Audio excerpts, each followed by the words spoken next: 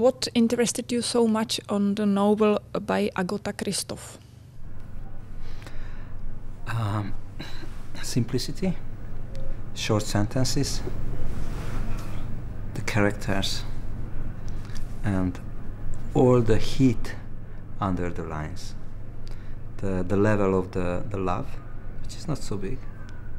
Pretty some, but some exist. And the war around, which basically doesn't exist in the novel. Ihr habt euch auch mit dem Gürtel geschlagen. War das auch eine Übung? Tisztúr azt mondja, hogy látta, hogy egymást ütitek egy szíjjal. Az a testedzési gyakorlat volt. Where have you discovered uh, these two young boys playing the main heroes? far, far from the city, in a, in a poverty, in a very bad, uh, very very bad uh, family situation.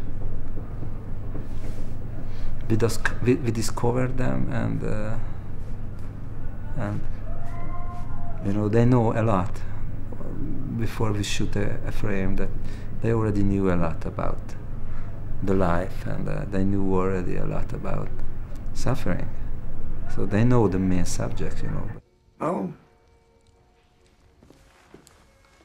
Tisztúr azt kérdezi, miért? Hogy megszokjuk a fájdalmat. mögt ihr es, wenn es weh tut? Ti szeretitek, ha fáj? Nem.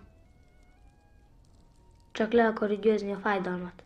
Are the experiences from the theater directing, which you have, uh, helpful behind the camera for you?